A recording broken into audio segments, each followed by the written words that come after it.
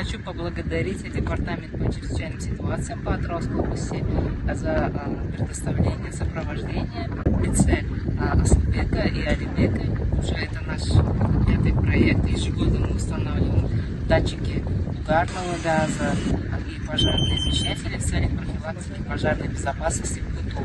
И не только. Также мы раздаем специальные памятки по профилактике пожаров и по профилактике утопающих.